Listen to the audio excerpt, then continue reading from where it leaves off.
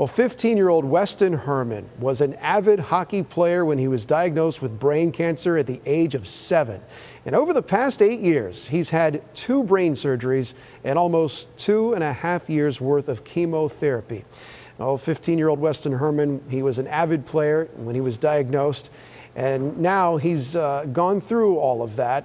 And our own Kevin Lewis caught up with him about his journey forward.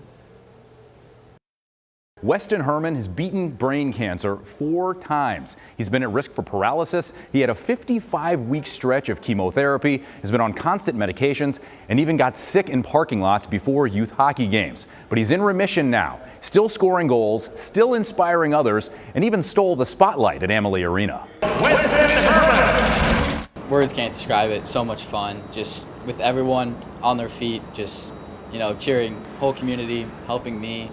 Uh, just go through everything, which thankfully in remission now, so doing good.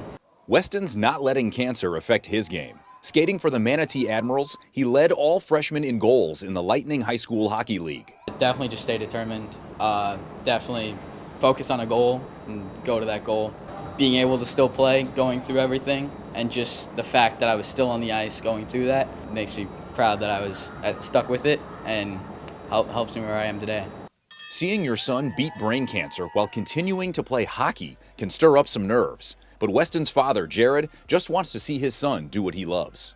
It really helped him get through, you know, these these uh, you know, trying times to, you know, kind of get something to focus in on besides, you know, chemotherapy and surgeries and just really go out in the ice and it's just one hour where all it is is just playing hockey and having fun. Weston's had the Tampa Bay community behind him 100 percent. He got to skate at a Bolts practice, spoke to WWE superstar John Cena, and developed a friendship with a fellow cancer survivor, Hoops Hall of Famer Dick Vitale. Reaching out every single week, asking how I'm doing, going through chemo and everything, and to see him have to go through what he had to go through after helping everyone. Great, great seeing him ring the bell. The American Cancer Society teamed up with Heroes for Causes and the Hermanns to raise money and spread awareness in a unique way through comic books. One of the heroes, Center Ice, was inspired by Weston, all the way down to the number 22 sweater. And we're just trying to help others to, you know, raise awareness because only 4% of all, you know, federal funds go to pediatric cancer. You know, we really need new therapies and really that are specifically, you know, designed for kids. I feel like it can encourage others to go through uh, what they're going through. Obviously, I don't have the worst of it. There's definitely much worse stuff out there, and so hopefully they can stay determined, get through it. Weston told me he doesn't like to brag about his story, but he's definitely earned the right to brag a little bit because it's going to help a lot. So I guess if my story inspires others, I'd love to love to encourage that.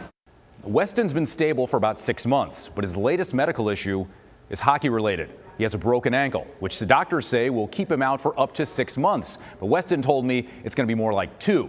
And given his track record of beating the odds, I would not bet against him at all. In Tampa, I'm Kevin Lewis, ABC Action News.